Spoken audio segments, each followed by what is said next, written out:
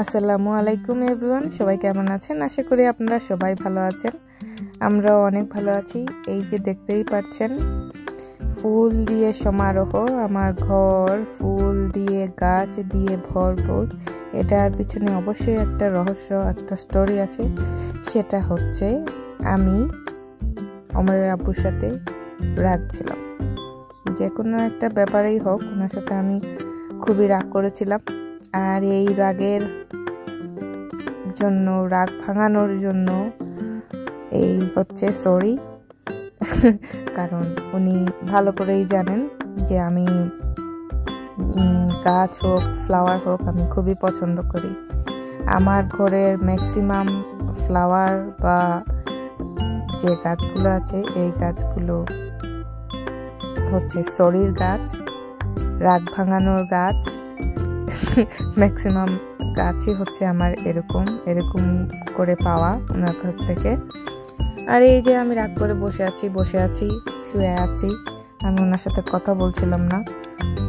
তারপরে তো আমি কাজেও চলে গিয়েছিলাম, হঠাৎ কাজ থেকে আসি, আসার পরে আমি আসলে খুবই স্ট্রেঞ্জ হয়ে যাই যে এতগুলো গাছ, এত ফ্লাওয়ার টেবিলের মধ্যে। আমি প্রথমে আসলে বুঝতে পারি নাই। আমি কনফিউজ ছিলাম। তারপরে হঠাৎ করে আমি রিয়েলাইজ করলাম যে, না, এগুলো তো নতুন মনে হচ্ছে। তারপরে আর কি করব? মনে মনে চিন্তা করলাম, ও, এক নম্বর রাগ ভাঙানোর প্রায় চলছে। হাজব্যান্ডের সাথে রাগ করলে কখনোই আর্গুমেন্টে যাবেন না।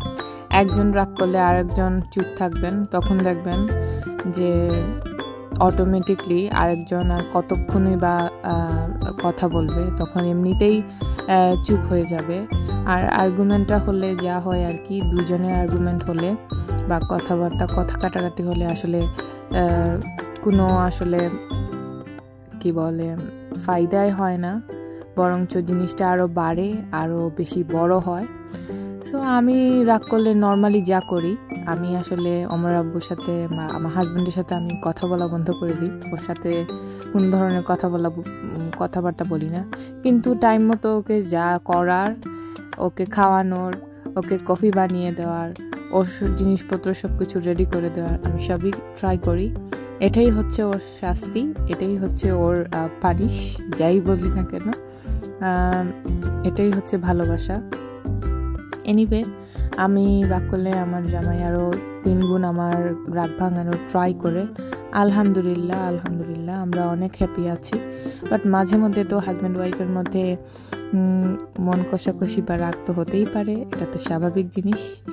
এনিওয়ে এই হচ্ছে আমাদের রাগ ভাঙার পর্ব শেষ, আমাদের ভালোবাসার টাইম সো এই তো, সবাই ভালো থাকবেন, সুস্থ থাকবেন।